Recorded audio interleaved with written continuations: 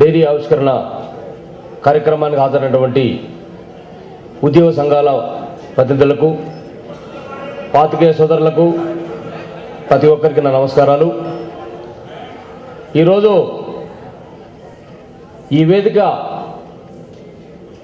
రాజకీయాలకు అతీతమైన నిజమైన తెలంగాణ ప్రాంత ప్రజల్లో ఉన్నటువంటి మనసులో ఉన్న మాటను బహిర్గతపరచడానికి ఉపయోగపడే వేదికగా ఇది ఎంతో హర్షించదగినటువంటి కార్యక్రమంగా నేను తొలతగా నిర్వాహకులను మనస్ఫూర్తిగా అభినందిస్తూ అభినందిస్తా ఉన్నాను.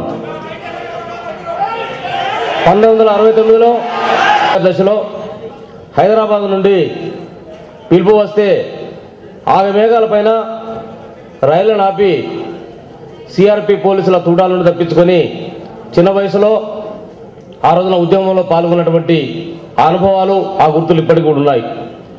డెబ్బై ఒకటో సంవత్సరంలో ఆ ఉద్యమం మహోద్యమం అంతా కూడా ఒక రాజకీయ పార్టీగా ప్రక్రియ చెంది టీపీఎస్గా ఆ రోజున వెంకటస్వామి గారు సిద్దిపేటను పోటీ చేస్తే విద్యార్థి దశలో ఉన్నటువంటి పిల్లలందరం కలిసి ఆ రోజున పోటీ చేసిన అందరినీ కూడా గెలిపించిన తర్వాత ఆ రోజున మనందరికీ కూడా తీరని గాయం జరిగింది తీరని మోసం జరిగింది. నిజంగా ఆనాడే మన తెలంగాణ మనం సాధించుకోగలిగి ఉంటే ఈనాడు ఈ పరిస్థితి ఈ దుస్థితి మనకు ఉండేది కాదు. ఏదేమైనప్పటికీ కూడా దశాబ్దాలు గడిచిన తర్వాతనైనా ఈనాటికైనా మించిపోయింది ఏమి లేదనే పద్ధతిలో తిరిగి మళ్ళీ ఉద్యమం ప్రారంభించబడింది. ఉద్యమం ప్రారంభించిన రోజున నన్ను కూడా చంద్రశేఖరరావు గారు స్వయంగా వచ్చి మీరు టీఆర్ఎస్ పార్టీలో చేరండి అని అడిగినారు. నేను ఒకటే చెప్పినాను. తెలంగాణ ఉద్యమం అనేది ఒక రాజకీయ పార్టీ కాకుండా ఉద్యమంగా మీరు నాయకత్వం చేయండి. రాజకీయాలకు అతీతంగా అందరం కూడా కలిసి వస్తామని చెప్పి చెప్పాను. రాజకీయ పార్టీకి మళ్ళీ ఒక ప్రమాదం జరుగుతుందేమో ఆ రోజున ఉన్నటువంటి ఆ యొక్క మరి గుర్తులు ఇంకా మర్చిపోలేదు. సాధ్యం అవుతుందని చెప్పి నేను ప్రశ్నించినప్పుడు రాజకీయ ప్రక్రియ ద్వారానే సాధ్యం అవుతుంది అని చెప్పి వారు ఒక మాట చెప్పడం జరిగింది. నిజమే కావచ్చు జరుగుతుందేమో అని చెప్పి ఎదురు చూసినాం. కానీ ఈ రోజు వరకు కూడా అది జరగకుండా మనందరికీ కూడా తీరని అన్యాయం జరుగుతూ ఉంది. ఈరోజు కాంగ్రెస్ పార్టీ ఇస్తామని చెప్తా ఉంది.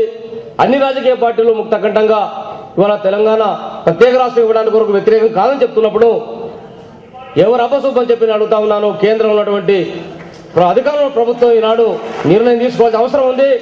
ఆ నిర్ణయానికి అందరూ కూడా కట్టుబడి ఉండాల్సిన అవసరం ఉంది.